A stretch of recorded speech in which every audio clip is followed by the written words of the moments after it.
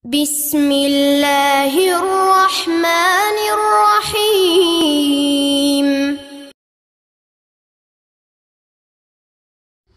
Assalamualaikum warahmatullahi wabarakatuh.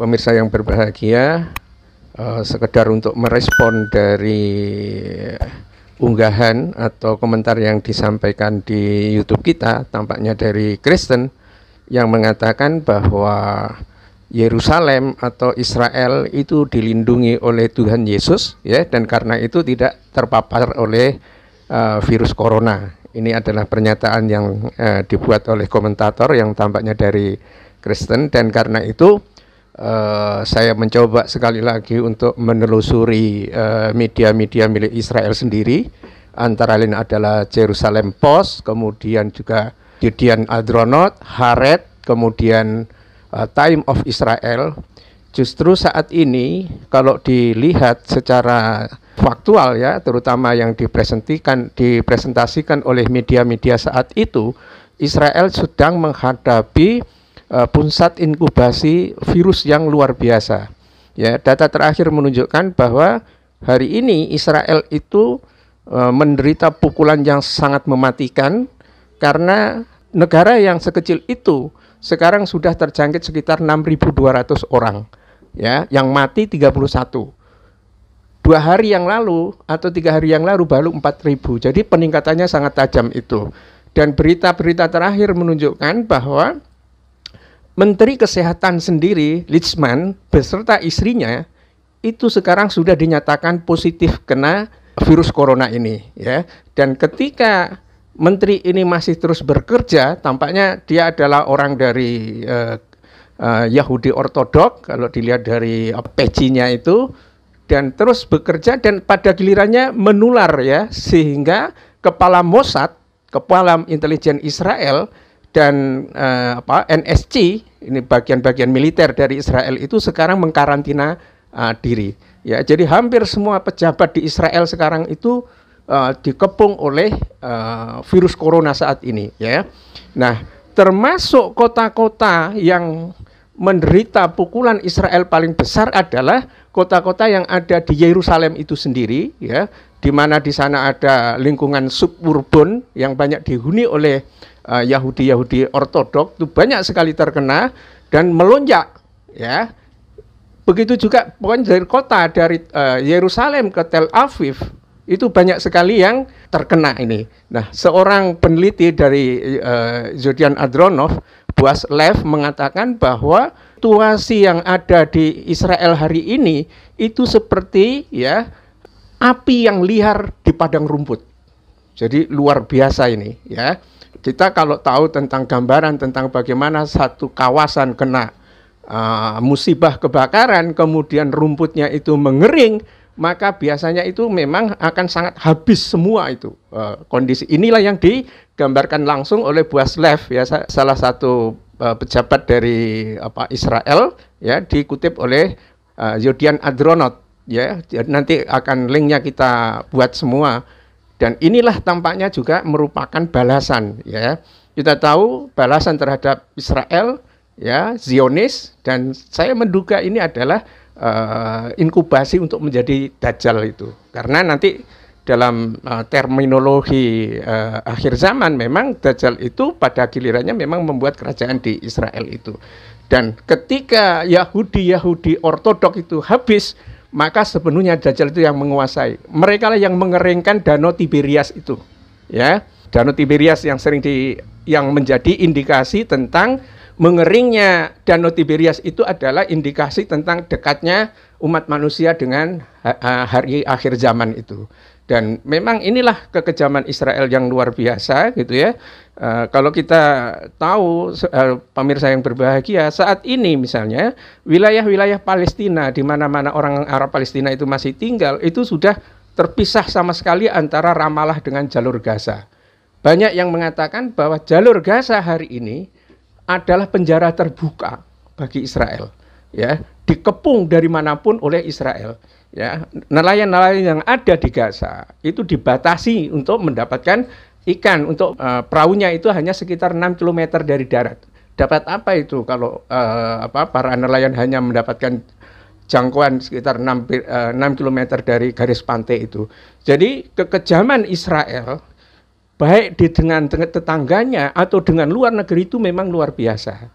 Ya, ini uh, sekedar untuk memberikan respon. Jadi orang-orang yang belum membaca tentang situasi Israel, tampaknya ini dari uh, komentator-komentator Kristen, nanti akan saya tunjukkan apa uh, video-videonya atau media-media online-nya yang bisa diakses dengan mudah.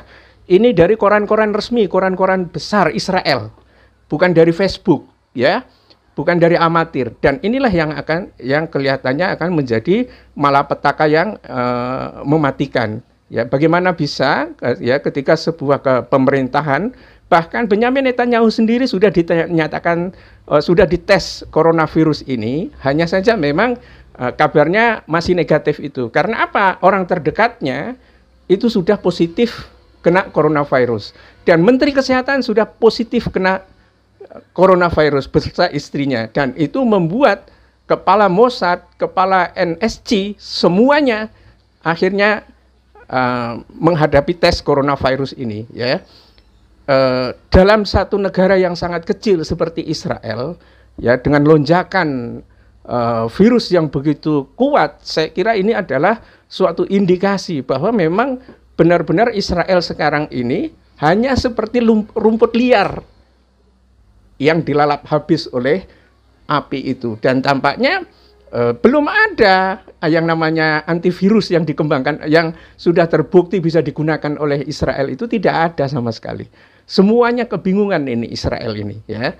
Dan ketika dia mencoba untuk memberikan batasan terhadap Kristen ortodok, maka yang akan terjadi kemudian adalah kekerasan uh, horizontal antara uh, bukan Kristen ortodok, Yahudi ortodok maksud saya, itu akan terjadi kekerasan horizontal. Ya kita tahu bahwa uh, Yahudi ortodok ini betul-betul anti teknologi ya dan sistem penjelasnya hanya didasarkan pada kitabnya itu ya, termasuk kitab uh, Talmud itu ya. Dan dari situlah kemudian kemungkinan ya akan terjadi kerusuhan sosial ya. Para pejabat di Israel sendiri sangat hati-hati untuk memberikan lockdown di wilayah-wilayah di mana Yahudi ortodok itu uh, berada. Tetapi ketika tidak diambil ini maka api akan menjalar ke mana-mana. Dan memang ini dilema yang sangat besar yang dihadapi oleh Israel. Dan ini saya kira eh, nggak uh, apa-apa biarkan aja Israel menghadapi situasi seperti ini ya. Kita tidak rugi sama sekali. Tanpa Israel tanpa Zionis dunia akan menjadi uh, tenang itu ya. Dan saya yakin bahwa dengan informasi-informasi yang kita berikan ini sebetulnya uh, saya sendiri punya maksud supaya kita semua bisa merenung. Ya, jadi kalau sebuah negara diperintah oleh pemerintahan yang zalim, menindas rakyatnya, korupsi dan lain sebagainya, itu tinggal tunggu kehancuran saja, gitu loh. Ya, ini supaya kita merenungkan bersama-sama, ya. Uh, apa yang dialami oleh Israel, ya, itu juga dihadapkan pada situasi yang berkembang di Italia, seperti yang baru saja saya sampaikan, juga di Amerika. Dan ini semua menandakan bahwa betul-betul kalau lihat kita kita berpikir by data ya dengan data yang ada memang uh, virus virus corona ini betul-betul menyasar kepada orang-orang yang zalim nyaris tidak ada yang lolos itu ya ini saya tidak sekali lagi saya tidak tahu persis apakah ini layak disebut sebagai tentara Allah tapi saya katakan ini adalah peringatan yang keras dari Allah ya adanya virus ini adalah peringatan yang keras dari Allah Subhanahu wa taala. Tinggal reaksinya dari manusia itu seperti apa. Ya, sama seperti zaman Nabi Musa dulu ya. Pemimpin pemimpin yang zalim diingatkan dulu ya dengan berbagai wabah bahkan darah ya. Bagaimana bisa darah bisa diada di mana-mana di Sungai Nil itu merah jadi darah. Itu adalah peringatan dulu. Dan kalau tetap membandel, ini bukan satu-satunya peringatan Fir'aun dan tentaranya ditenggelamkan. Dan mestinya memang sebetulnya Israel itu harus banyak belajar dari sejarah yang dialami oleh Bani Israel pada masa dahulu itu. Tetapi sekali lagi, memang Israel yang ada sekarang adalah Israel Zionis yang tidak merupakan keturunan Yakub dari Yakub atau dari Israel itu sendiri. Jadi Israel itu adalah nama lain dari Nabi Yakub.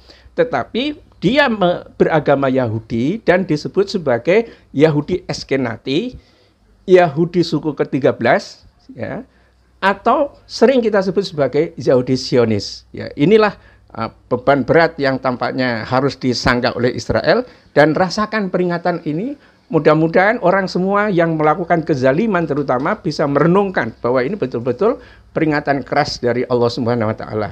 Dan karena itu baiknya kita tunduk dan patuh terhadap apa yang diperintahkan Allah, menjauhi larangannya dan kemudian juga jangan menindas, jangan mengorupsi uang rakyat, ya. Itu betul-betul dosa yang sangat berat gitu. Dan tampaknya apa yang dihadapi oleh Israel pada saat ini ini baru inkubasi ya, belum terjadi ledakan. Mungkin beberapa minggu ke depan ini akan terjadi ledakan yang cukup besar di Israel itu. Bila itu walidayah. Assalamualaikum warahmatullahi wabarakatuh.